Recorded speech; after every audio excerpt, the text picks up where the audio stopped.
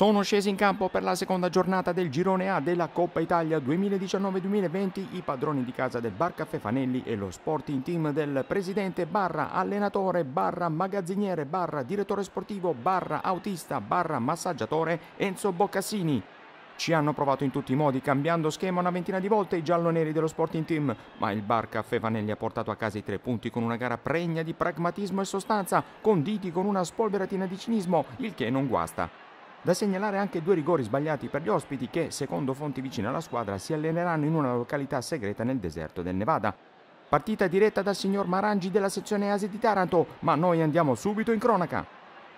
Intorno al terzo minuto i blues premono sull'acceleratore portando Tufaro alla penetrazione in aria. Il suo diretto avversario lo contrasta fallosamente costringendo l'arbitro a concedere il rigore a Barca Fefanelli.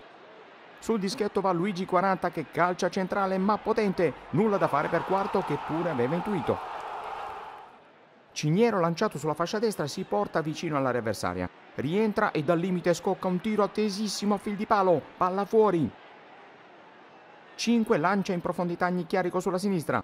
Il numero 32 blu si sistema la palla e poi effettua un traversone per Bucoliero che al volo spacca in due la porta difesa da quarto che deve capitolare per la seconda volta un golasso d'altri tempi. Finalmente si vedono i gialloneri dello Sporting Team. Il pallonetto sparato dal limite del fallo laterale costringe l'Orusso alla parata in due tempi. Azione in velocità e tutta di prima per i padroni di casa di Barcafevanelli. Ciniero arriva di gran carriera sul pallone stropicciandosi anche le ginocchia, ma quarto si supera bloccando a terra con grande freddezza.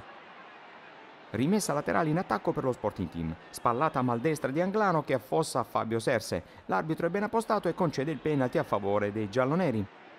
Bonamico si presenta sul dischetto per la battuta. Lo russo respinge e si genera poi un parapiglia in aria che vede la sfera rimbalzare di qua e di là un po' di volte. Alla fine la palla ritorna a Bonamico che la spara al secondo piano. La signora non ha voluto restituire il pallone.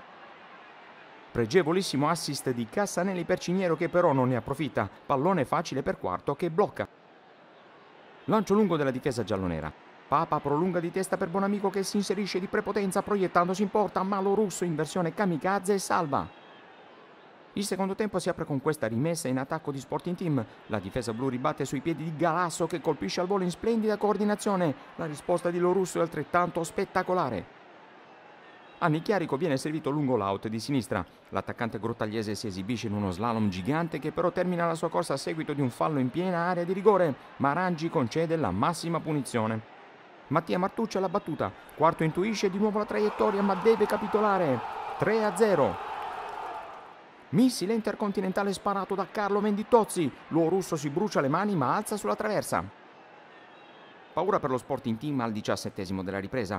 Ciniero va in fuga sulla fascia sinistra. Lo scambio con un compagno lo porta in area dove scheggia la traversa con una sciabolata tutt'altro che morbida. Francesco 5 pesca Nicchiari al limite dell'area. Il gioco di prestigio del puntero blu non sortisce l'effetto sperato perché Quarto respinge il suo tiro. Su un calcio di punizione dello Sporting Team l'arbitro ravvede un tocco di mano all'interno dell'area grottagliese e così fischia rigore per i gialloneri. Portacci si incarica della trasformazione del penalty, ma anche lui spreca calciando al lato. Al povero Enzo Boccassini non resta che sperare che l'arbitro non conceda più nessun rigore ai suoi. E infatti arriva il gol per lo Sporting Team su azione. E che azione! Buon amico chiede la triangolazione a Galeone che gli restituisce il pallone. Il numero 18 giallo-nero si accentra e dal limite fa esplodere un sinistro eccezionale che si incune all'incrocio nonostante l'intervento di Lorusso. Il presidente in lacrime alla vista di questa perla ed era anche l'ultima azione degna di nota della gara perché arriva il triplice fischio finale dell'arbitro che manda tutti a nanna. Tre punti per Barcaffè Fanelli che balza meritatamente in testa al girone. Noi ci vediamo alla prossima amici!